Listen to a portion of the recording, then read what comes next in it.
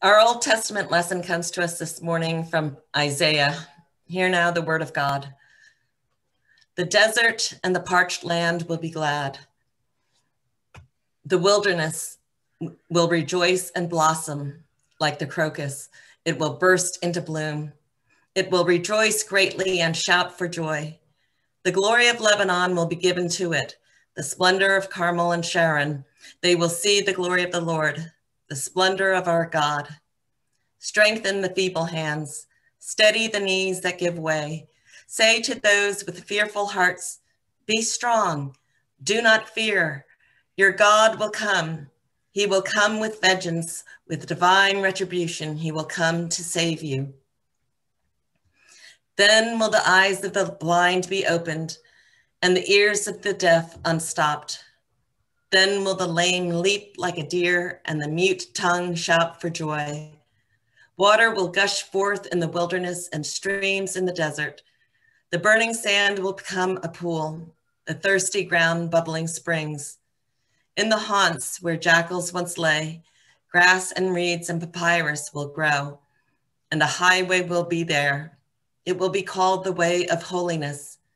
It will be for those who walk on that way. The unclean will not journey on it. Wicked fools will not go about on it. No lion will be there, nor any ravenous beast. They will not be found there. But only the redeemed will walk there, and those the Lord has rescued will return. They will enter Zion with singing. Everlasting joy will crown their heads. Gladness and joy will overtake them and sorrow and sighing will flee away.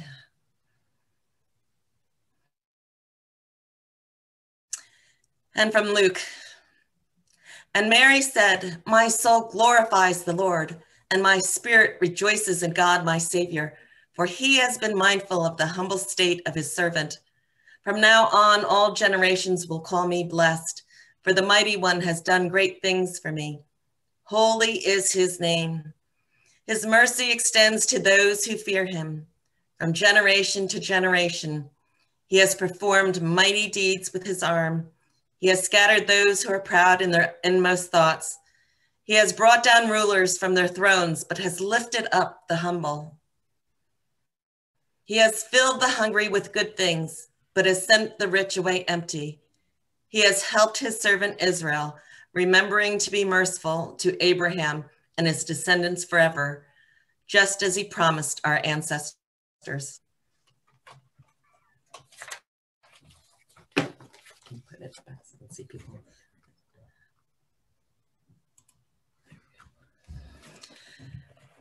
As I read this passage and thought about this sermon, memories from long ago came alive. Memories that began shortly after I graduated from college. I had moved overseas to spend a year in the West Bank. I worked at a school for Palestinian girls. This was especially eventful and meaningful year for me, spiritually, emotionally, and psychologically. I loved working with those girls, and my Palestinian colleagues were kind and supportive. I found the Palestinian people warm, gracious, and welcoming. It was easy as I walked along the paths that Jesus walked to imagine what life had been like at that time. The Hebrew people living under the occupation of Rome, paying taxes to foreign government, living foreign rule. For me, living in an occupied land meant I never left home without a passport. We were frequently being stopped for no reason and having to produce documentation. These memories came alive as I read the story of the Magnificat because so much of Mary's life in and through my students. The passage we just read, known as the Magnificat or Mary song, is also known as a song of social revolution. Because in it, Mary sings how the mighty will be brought down and the lowly lifted up, the hungry fed and the rich sent out, it is an upending of how society has always been known. I'd like to share with you three stories this morning. of my time in the West Bank. They aren't easy stories to hear, and they were even harder to remember. But for me, they embody this story, Mary's song. The first involved a student from my 10th grade English class. She had arrived in the middle of the school year from the United States. She had been raised most of her life there, but then she'd been sent back to marry a 32 year old cousin, which would happen at the end of the school year. She was miserable. There was nothing I could do to do about the arranged marriage, but I could help her have as good a year as possible, a school year as possible. For any of you who are or were teachers, you can probably identify when I say this was an exceptional class, not just in intellect, but more importantly, exceptional with their kindness and their compassion. A once in a lifetime class. It was easy to help integrate her into the class, and with love, she managed to relax, enjoy the rest of the year as much as was possible. The next incident occurred while I was teaching an eighth grade class. The father of one of the girls came and told her she had to come with him immediately. He was a professor at the nearby university, and the family had dual citizenship with the United States. He had been pulled from his class by the Israeli soldiers and told to gather his family. They were being deported that day. I don't know what his alleged misdeeds were. They didn't have to be much to get someone deported or jailed. For this young girl, her life was upended because they lived in an occupied country. She had spent much of her life in the West Bank. It was her home. With many tears, she gathered her things and said goodbye to her friends. The final incident I want to mention this morning again involved one of my 10th graders. One day, this student did not show up for class. She was one of my brightest and friendliest girls. It was not like her to miss school.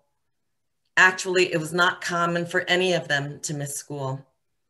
Soon word got around that she had been traumatized in the middle of the night, her home had been invaded by Israeli soldiers.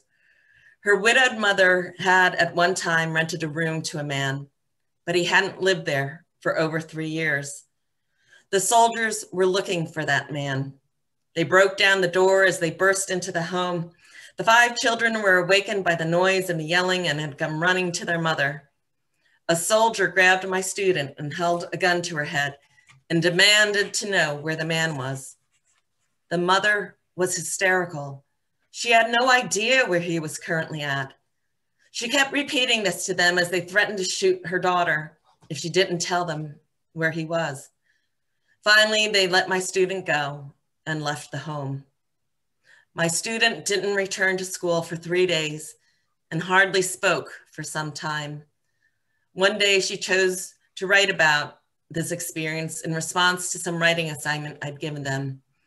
We were close, and I think she chose to write about it to me because I was a safe person with whom she could begin to process what had happened. I thought about those girls as I read Mary's song and thought about her life. She was a young girl betrothed in what was surely an arranged marriage.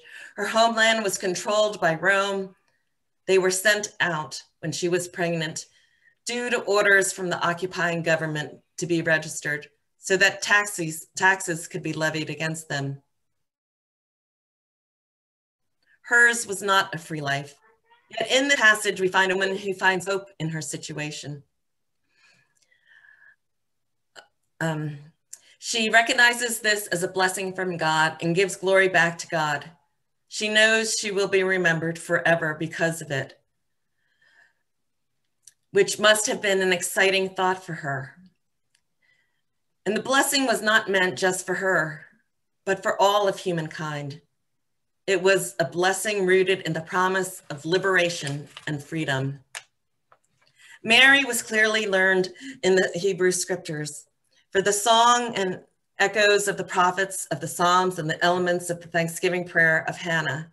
She knows the stories, the foretelling of the Savior who will reverse the strengths of the world. The lowly will be lifted up and the mighty will be brought down. The hungry will be fed and the rich will be sent out. I'm sure that for many people alive today, the thought of having a full belly or a warm place to sleep is as distant and remote as can be. But that is what is promised, and Mary exults in that. She expresses hope in the future through the promises of God. An oppressed woman exults. For her, for her hope lies in the Lord and not in the decisions or actions of humans. I hope that we too can take solace in God's word when we are going through difficult times. But in what other ways does God give us hope today? Cornel West, a philosopher and political activist, said, Justice is what love looks like in public. Isn't that a great saying? But if justice is what love looks like in, pu in public, what does hope look like in public? after contemplating this, I decided that for me, hope looks like action. We are called to be the hands, feet, ears, voice, heart of God. And if we are the embodiment of God, then our actions can give hope. Hope comes through a 16 year old girl, Greta Thunberg, sitting alone outside of her parliament building, protesting climate change and now is the voice of both challenge to world leaders and hope to the youth in the fight against climate change, a voice that now resounds around the world. It is Scott Warren of Arizona facing prison, but living out his faith for giving water to refugees who are weak and dehydrated from their long trek through the desert in search of safety for their families it is the deacons and church members who bring meals to someone recovering from an illness.